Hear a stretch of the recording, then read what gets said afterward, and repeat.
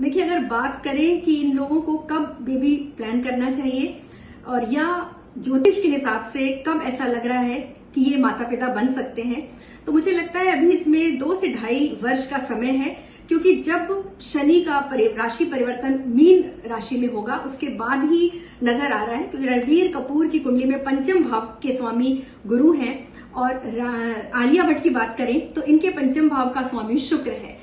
और रणबीर कपूर की कुंडली में शुक्र नीच का है, आलिया भट्ट की कुंडली में उच्च का है। तो इनको अच्छी तरह से संतान सुख प्राप्त होगा, और उसमें कोई भी ऐसी बाधा नज़र नहीं आ रही है।